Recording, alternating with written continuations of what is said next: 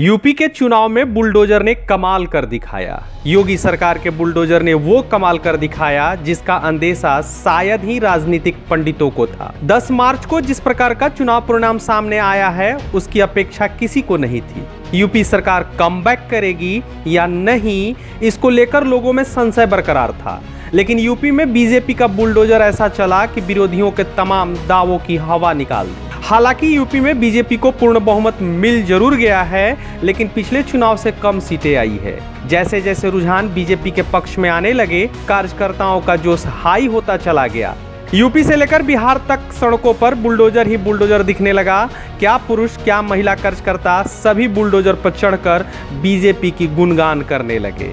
दरअसल यूपी में कहा जाता है कि योगी सरकार ने दबंगों की संपत्ति पर खूब बुलडोजर चलाने का काम किया, जिससे वहाँ की जनता इतनी खुश हो गई कि 2022 के विधानसभा चुनाव में दिल खोल कर योगी सरकार को वोट कर दिया। बुलडोजर के करनामा देख और सुनकर बिहार सरकार ने भी अब बुलडोजर चलाने का निर्णय लिया है। अब बिहार में भी यूपी के तर्ज पर बुलडोजर चलाया जाएगा। इसके लिए दिन, तारीख और महीना भी तय कर लिया गया है। सरकार ने वो तारीख का भी ऐलान कर दिया है, जिस दिन से बिहार में बुलडोजर चलने वाला है। इसलिए सावधान हो जाइए ऐसे लोग जिन्होंने कुछ भी ऐसा वैसा किया है, जो सरकार की नज़रों में अवैध है। दरअसल अपनी ज़मीन को अतिक्रमण से मुक्त कराने के लिए राज्य सरकार बुलडोजर चलाने जा रही है।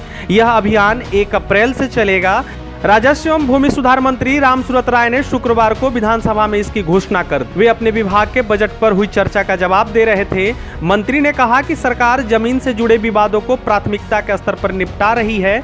ऑनलाइन से जुड़ी सेवाओं को ऑनलाइन किया गया है। इसके सार्थक नतीजे भी आ रहे हैं। इतना ही नहीं, सरकारी ज़मीन को अतिक्रमण मुक्त कराने के लिए बुलडोजर पर होने वाले खर्च के मद में जिलों को दस दस लाख रूपए की राशि दी जा रही है। सदन में ध्वनि मत से विभाग का बजट पारित कर दिया गया है। यह एक हज़ार तीन सौ बत्तीस करोड़ रुपए से अधिक का है।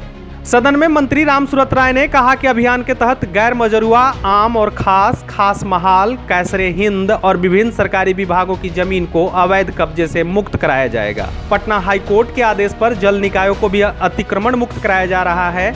उन्होंने कहा कि सुस्त और भ्रष्ट सेवकों के खिलाफ अनुशासनिक कार्रवाई भी हो रही है। इस साल एक अप्रैल से अपने आप ऑनलाइन दाखिल खारिज की प्रक्रिया शुरू कर दी गई है। इसके तहत ज़मीन के खरीद के साथ अपने आप उसका दाखिल खारिज हो जाता है। अभी यह लाभ उन्हीं को मिल रहा है जिनके नाम से जमाबंदी कायम है। सरकार का यह फैसला वाकई सराहनीय कदम है। अगर बुलडोजर उन तमाम सरकारी जमीनों पर चल जाए तो कई तरह की समस्या से अपने आप निजात मिल सकता है। सड़कें चौड़ी हो जाएगी, कहीं पर पार्क का निर्माण हो जाएगा तो कहीं पर सरकारी ज़मीन का दूसरा उपयोग हो पाएगा। जो आज अतिक्रमण के कारण नहीं हो पा रहा है। लाइव सिटीज़ की रिपोर्ट। अगर इस वीडियो को फेसबुक पर देख रहे हैं तो पेज को लाइक करें यूट्यूब पर देख रहे हैं तो चैनल को सब्सक्राइब करें। आप ट्विटर से भी जुड़ सकते हैं। धन्यवाद।